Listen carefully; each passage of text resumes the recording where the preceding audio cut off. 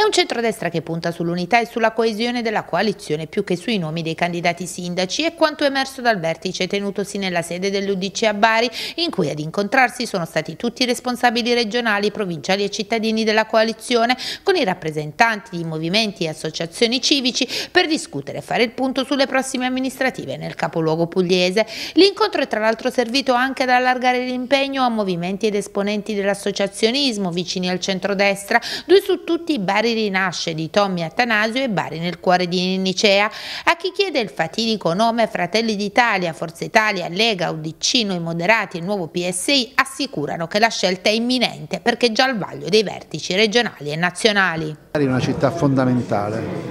non soltanto per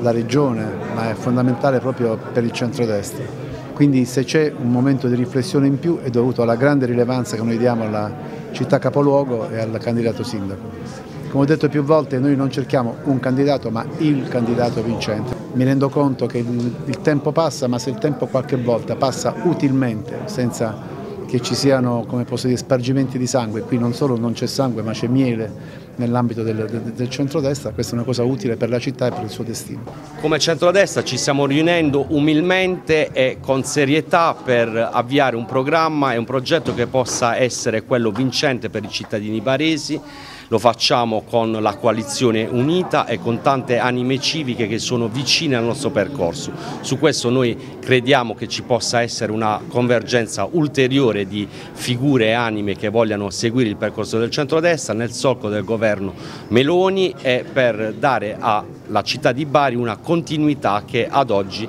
da parte del centro-sinistra non c'è stata. Credo che la prima notizia sia che mentre inviare David nella sede del PD ci si riunisce per escludere, escludere candidature, escludere ipotesi, noi oggi invece torniamo a riunirci come centrodestra per tracciare un percorso comune che ci porterà alle elezioni amministrative di Bari dopo vent'anni di sinistra a cambiare definitivamente pagina. Credo che questo sia plasticamente la differenza più grande fra quello che non è il campo largo, cioè loro, e la nostra invece che è una casa comune in cui ci si ritrova con amici di vecchia data soprattutto con idee e programmi condivisi. Ci sono molti profili che sono sotto la lente di ingrandimento del centro-destra, tutti validi, tutti in grado di vincere le prossime competizioni elettorali. Noi riteniamo di, di rappresentare un valore importante nell'ambito nell del centro-destra, abbiamo messo in piedi eh, in campo soprattutto una, una, squadra, una coalizione completa, eh, unita, compatta,